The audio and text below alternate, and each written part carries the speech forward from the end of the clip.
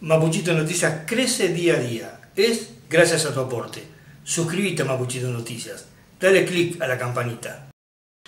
Sí, en realidad eh, la alerta viene sobre todo en lo que es el centro este de la provincia. Eh, hoy, si bien hemos tenido periodos inestables, se ratifica que va a haber un fin de semana con mucha inestabilidad, sobre todo en el centro este de la provincia, afectando los departamentos de Adolfo Alsina, Avellaneda, Pichimahuida, San Antonio Este.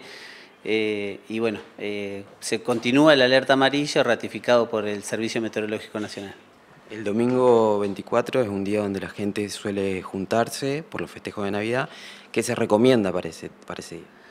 Bueno, primero seguirlos, seguir en, lo posible las páginas oficiales donde, donde se pronostican estos fenómenos y bueno, a la población decirle que, que bueno, en caso de tormenta, porque la alerta es por tormenta, es viento fuerte, o sea que mantenerse en espacios cerrados, eh, no, transitar en, los momentos en que está ocurriendo este fenómeno, ya que puede haber caída de granizo, fuertes vientos, que puede producir caída de tendido eléctrico, rama, y bueno, todos los inconvenientes que, estos fenómenos eh, producen.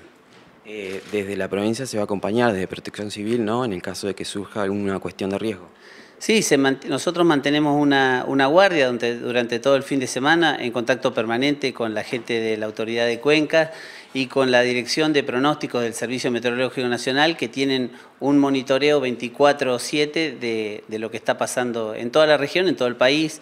Eh, tenemos contacto, como te digo, con Marcos Saucedo, que es el director de pronóstico, y con, y con la gente, los pronosticadores y los meteorólogos que están de guardia durante todo el fin de semana.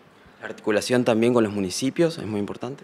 Sí, así eh, tenemos grupos eh, donde, donde, por supuesto, alertamos a los municipios, a las localidades que pueden llegar a ser afectadas para que ellos tomen los mismos recaudos y las recomendaciones que nosotros emitimos desde las páginas oficiales del Ministerio de Seguridad y Justicia y a través de, de los grupos que ya están protocolizados como avisos para los intendentes, comisionados de fomento y población en general.